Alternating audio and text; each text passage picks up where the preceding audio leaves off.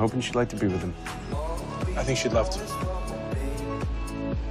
We are all set. I think it would be appropriate for the husband to do the honors.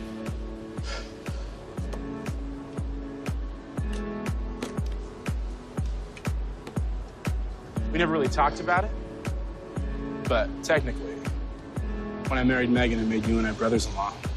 You know, I've always found that term antiquated. How about we just go with brothers?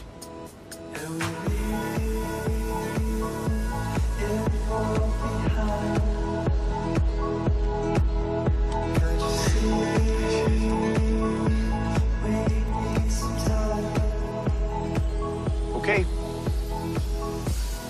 Uh, Bye.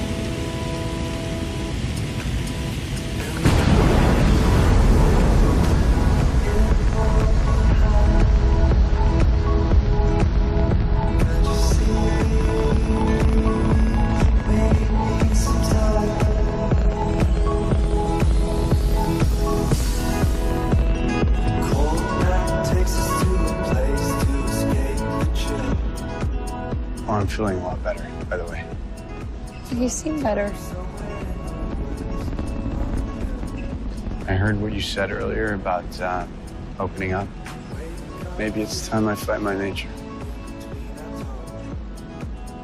I work for the dam. Might just work for you. Nobody knows.